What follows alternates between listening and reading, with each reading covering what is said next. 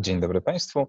E, widzimy się w ramach 20. Festiwalu Sztuki Reżyserskiej Interpretacji w Katowicach. E, moim Państwa gościem jest e, Tomasz Jeziorski, reżyser spektaklu Żona Łysego, prezentowanego w ramach cyklu Teatroteka. Mm, oraz po części naszym gościem jest sąsiad Tomasza, który aktualnie ma remont, co może być co jakiś czas słyszalne. E, ale y, widzimy się w warunkach COVID-u, więc y, witamy w naszych domach bądź zakładach pracy. E, dzień dobry, Tomku. Dzień dobry, dzień dobry wszystkim. E, widzimy się online, ale więc z naszych domów, mm, domów, które są w dużej mierze częścią Twojego spektaklu. Poczucie domu, jakiegoś bezpieczeństwa, które się z nim wiąże, Powiedz mi, z czym ci się kojarzy dom w kontekście żony Łysego? E, no właśnie, to jest e, ciekawe pytanie. E, dlatego ciekawe, ponieważ już przejdę jakby do samej realizacji, to znaczy bardzo mocno się zastanawialiśmy, jak osadzić ten ze scenografą, ze scenografką jak, jak osadzić to nasze małżeństwo, e, jak zbudować ich przestrzeń, bo e, to z tekstu to wynika, że to jest, akcja dzieje się na kilku planach czasowych, ale jakby mamy mieszkanie, które po wojnie zostało przydzielone dla, dla młodego małżeństwa razem ze starszą kobietą. To znaczy, więc jakby siłą rzeczy to jest to opowiadanie o takiej przestrzeni będącej trochę takim więzieniem to znaczy mała przestrzeń dzielona z obcą osobą e, e, dla młodego małżeństwa, które bardzo chce mieć dziecko, dzieci. E, I, i, i gdzieś tam przez, jak sobie wyobrażaliśmy sobie to, to małżeństwo, no to własne mieszkanie to jest fantastyczna rzecz. Jakby osoba, która jest tak. obok, nie stanowi jakiegoś dużego problemu. E, e, natomiast kiedy to się, e, kiedy coś, co miało być tymczasowym lokum, okazuje się jedynym, pierwszym i ostatnim, to nagle ta, ta przestrzeń się robi złowroga. I to, jak my myśleliśmy o tej przestrzeni, no to też nie wiem, czy to do końca widać, ale ta przestrzeń nie jest, to, bo ponieważ kręciliśmy te, te spektakl telewizyjny, kręciliśmy na hali zdjęciowej, no to też mogliśmy wykreować tą przestrzeń. Ona nie mm. jest przestrzenią realistyczną, ona jest taką przestrzenią, która, e, która jest trochę zaburzona. To znaczy, my takim punktem e, odniesienia dla nas była e, rozumienie przestrzeni przez bohaterkę w filmie e, Wstręt Romana Polańskiego. To znaczy, mhm. to gdzieś tam e, analogicznie o tym myśleliśmy, oczywiście bez, bez takiej e, ingerencji jakby w przestrzeń, ale że, ma, że, że coś, co. Zamieszkanie być... robi się pułapką. Tak, tak coś, co być schronieniem, okazuje się e, więzieniem, e, czy, czy, czy pułapką, czy czymś, co ciebie dodatkowo um, zniewala i nie pozwala uciec. No bo też gdzie? Hmm. Ta bohaterka, ona, e, o ile mąż łysy, ma swoją pracę, do której może uciec, mhm. ma, ma swoją pasję związaną z sklejeniem tych modeli kolejowych. O tyle ta, ta żona gdzieś tam jest,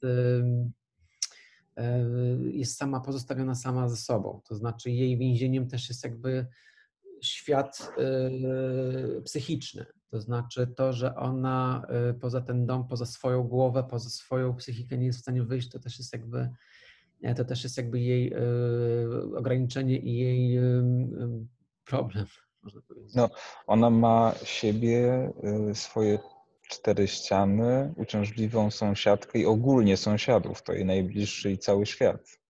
Tak, znaczy y, to też trzeba nadmienić, to nie jest sąsiadka, to znaczy to jest osoba, z którą ona, oni żyją, to znaczy mhm. to jest tak, że oni muszą się y, ona jest przedstawiona jako osoba, która jest już niedołężna, jest mhm. E, właściwie anonimowa, to znaczy jej, nie, dlatego też nie pokazujemy jej twarzy, ponieważ e, e, ci bohaterowie nie chcą widzieć w niej osoby, tylko, tylko w jakiś sposób chcą traktować ją jako można powiedzieć jak powietrze, ale z drugiej strony to jest to, mhm. czego my nie pokazujemy, ponieważ nie daje nam tekst takich możliwości.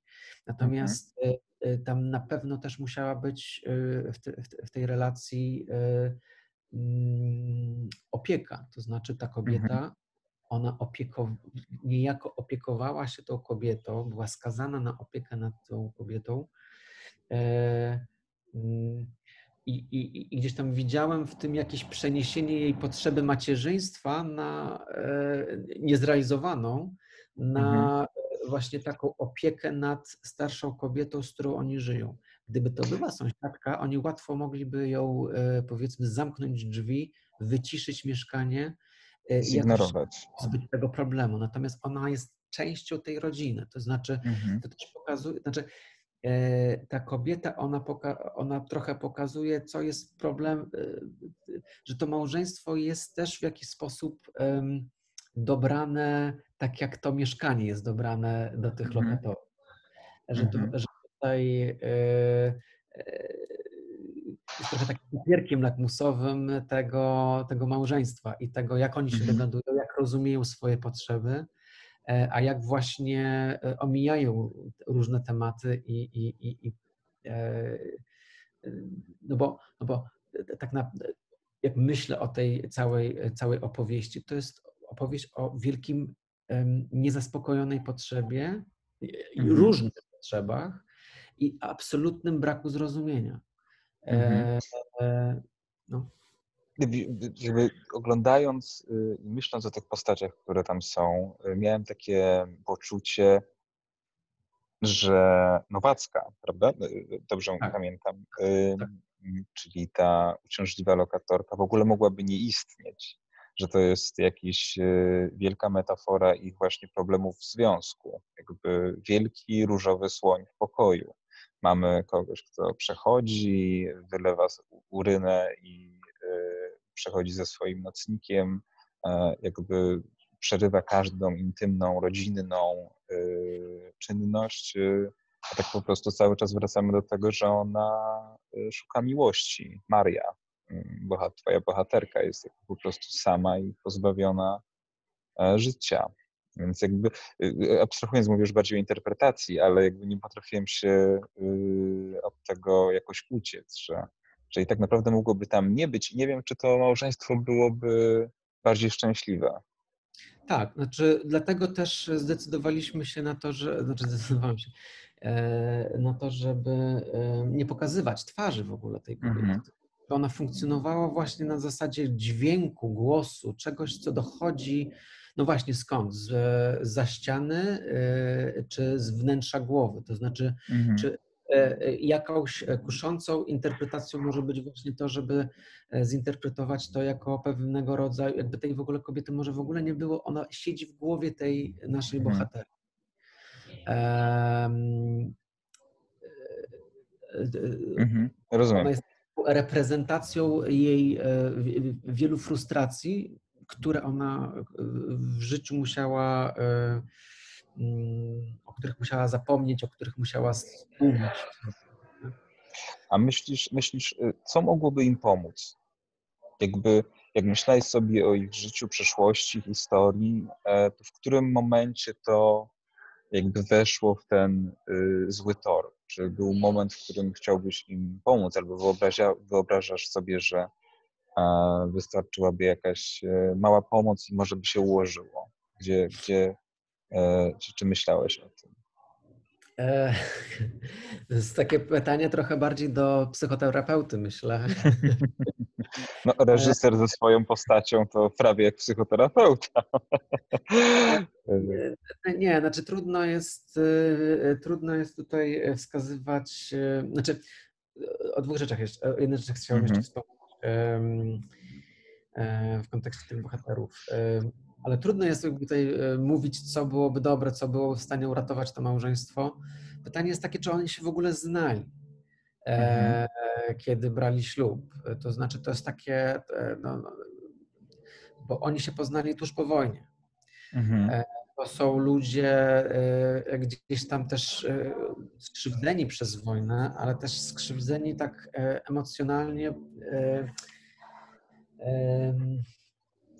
to są może, to są, nie chcę może wchodzić w rzeczy, w których wchodziliśmy e, z aktorami, to znaczy jak konstruowaliśmy bohaterów, ponieważ e, z tekstu niewiele wynika. E, mhm. Niewiele wiemy o tych bohaterach. właściwie sam cały tekst dramatyczny jest właściwie zogniskowany wokół tej bohaterki, wokół monologu tej bohaterki głównej. Dużą pracę dla mnie stanowiło właśnie taka stworzenie sytuacji, które mogłyby się rozgrywać między dwójką czy trójką osób. A to jest inna mhm. sprawa. To, co jest ważne e, w kontekście tego pytania, które postawiłeś, e, to jest to, że to jest historia, która się wydarzyła naprawdę. To znaczy, mhm. autor tego tekstu, Waldemar Pasiński, e, e, pamiętał właśnie e, sąsiadów, którzy właśnie mieszkali z taką, zostali przydzieleni z taką kobietą.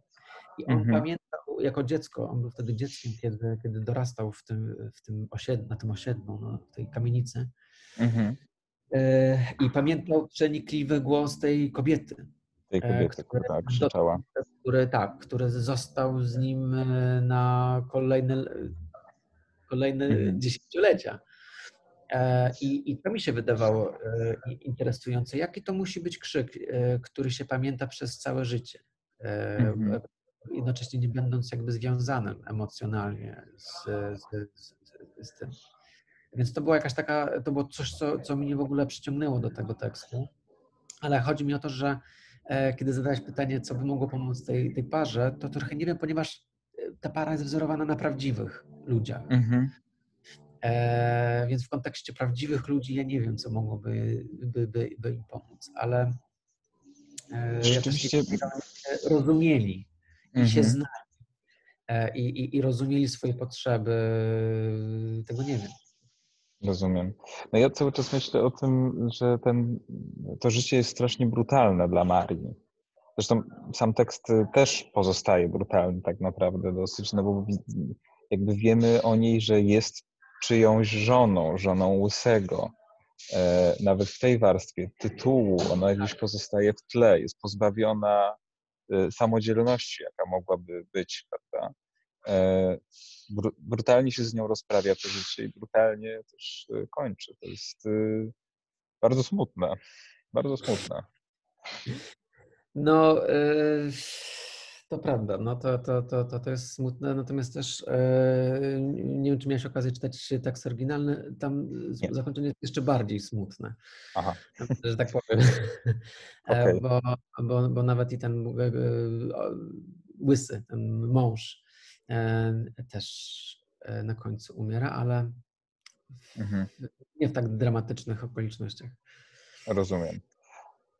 E, no ja jednak mam jakieś takie, y, y, oglądając taka, tą realizację, mm, taką dużą wiarę w to, że może teraz jest trochę łatwiej mm, w życiu, też w takiej niezależności kobiet, w ich samoświadomości, w tym, że jednak mamy bardziej prawo do własnych mieszkań, ale też się cały czas obawiam, czy to nie jest moje wrażenie wielkomiejskiej bańki, która jakby nie widzi tego, co się dalej odbywa, jak myślisz. Mhm. To znaczy, sam szczerze mówiąc się zastanawiałem, czy można by tą sytuację przenieść do e, współczesności, opowiedzieć mm. o teraz. I oczywiście, o ile jakby sam temat przydzielenia mieszkania, przydzielenia kogoś do, do mieszkania z kimś innym e, wydawałby się może mniej realistyczny, na tyle toksyczna relacja mhm. E, i, i pewne taka oddanie tej kobiety dla, tak, bo, bo z jednej strony, bo to jest tak, tego nie pokazujemy niestety, bo trochę mhm. nie ma nie, na to nie ma szans. Natomiast zawsze tak myślałem o, o, o tej kobiecie, że ona um, opiekuje się tą, tą sąsiadą. Natomiast ta mhm. opieka wiąże się też z poczuciem takim e, zniechęcenia, takim, że ona czuje, że właśnie ona, ona to mówi, czuje się, że ona jest tym pająkiem, który chodzi, który zaraz ją, e, zaraz ją e, wysie całą energię z niej. No to może być też mieszkanie ze swoimi zniedołężniałymi rodzicami, czy z rodzicami dokładnie, swoich partnerów. Dokładnie.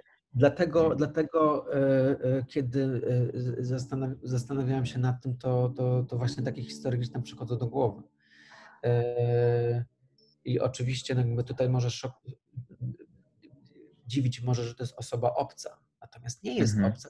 Oni mieszkają z nią 30 czy tam więcej lat. No dokładnie, to nie jest... Stała, stała częścią tej rodziny.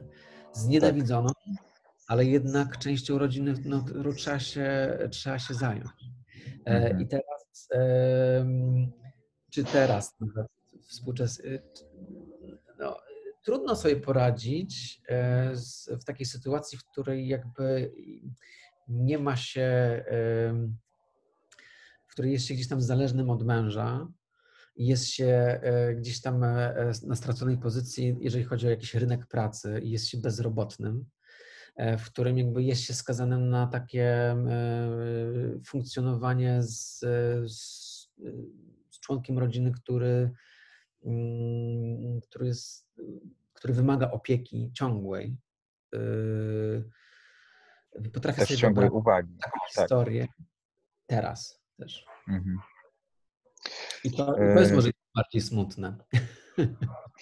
Próbowałem zakończyć może bardziej optymistycznie, ale jest, yy, jest trudno, chociaż myślę, że to jednak dobrze. No. Musimy oglądać też, tutaj jesteś jakimś oknem na rzeczywistość. Ale, ale, ale, ale ja też starałem się tutaj w tej końcówce dać pewien promyk nadziei. To znaczy, jest. Mamy tego męża, który był gdzieś tam totalnie zaślepiony na potrzeby swojej żony, na, na to, co ona mówi, na to, co ona odczuwa, na jej stan emocjonalny, psychiczny. E, widzimy, bo to mnie bardzo fascynowało, jak on się będzie zachowywać po tej stracie. To nie jest tak, że on był, on, on, on nie umiał po prostu mhm. okazywać e, swojej miłości, czy swojego przywiązania, czy swojego szacunku. On po prostu, to jest para, która nie potrafiła się porozumieć, która nie była głucha na swoje, swoje potrzeby, która nie potrafiła też ich komunikować może. E, no, ale, dokładnie, może nie była, ale nie wiedzieli jak, y, jak dotrzeć z nimi po prostu między sobą. Tak, tak. jakby też nie mówiło się o pewnych, e, mhm. pewnych e, nie było terminu depresji, nie używało się przecież, że ktoś ma depresję, mhm. czy ma ja myślę, że to może być problem do dzisiaj tak naprawdę. Zaburzenia osobowości. Nie tak. chodziło tak. się kiedyś do psychoterapeuty. Nie było informacji, nie było pomocy takiej, która jest teraz. Natomiast jakby koń, na końcu jakby staram się dać taką nadzieję, że ten, ten mężczyzna, on, że właśnie to, to co został, że ta kobieta, która, z którą się wiążą jakby wszystkie, ta, ta, ta nowacka, z którą się kojarzy trud, yy, udręka codzien, codzienna, to ona nagle gdzieś tam chowała małe, małe kocięta, że coś, co jakby wydawało się yy, martwe, obumierające, bezpłodne, na końcu e, potrafi być schronieniem dla czegoś, co jest e, no, takie piękne, niewinne i dobre. I, i to jest mhm. coś takiego, co, przed czym nie nawet nikt nie potrafi się obronić. Bo, Największy twardziel musi tak, okazać uczucie. Chciał być twardzielem, tak. tak. On nie może tego nie przyjąć tego daru też. E, mhm. e, więc starałem się to jakoś e, stworzyć nadzieję na końcu. Rozumiem. Znaczy, mm, też jestem za tym. Mm, mm, może trzymam kciuki, żeby do takich tragedii nie dochodziło najczęściej, ale, ale jest tam pozytywny odcień na końcu i, i, i chwała za to. E, dziękuję Ci e, za ten spektakl, za rozmowę e, i, i dziękuję. dziękuję Ci bardzo. Mm, dziękuję za rozmowę. Żałuję, że nie możemy porozmawiać z publicznością. Tak, to jest duży problem, że, że niestety to jest tak zredukowane i, i odbywa się w no, takiej, nie innej rzeczywistości. Teraz w tych domach musimy pozostać jeszcze chwilę. E, ale mm, wyobrażamy sobie Państwa. Chcielibyśmy na pewno razem się zobaczyć na żywo e, wszyscy i mamy nadzieję, że to już niedługo się stanie na być może kolejnym ogólnopolskim festiwalu sztuki reżyserskiej i interpretacji w Katowicach, e, z powodu którego się właśnie spotkaliśmy z Tomkiem Jeziorskim, reżyserem spektaklu mm, Żona Łysego. Dziękuję Ci Tomaszu i do zobaczenia, do usłyszenia. Dziękuję, pozdrawiam wszystkich.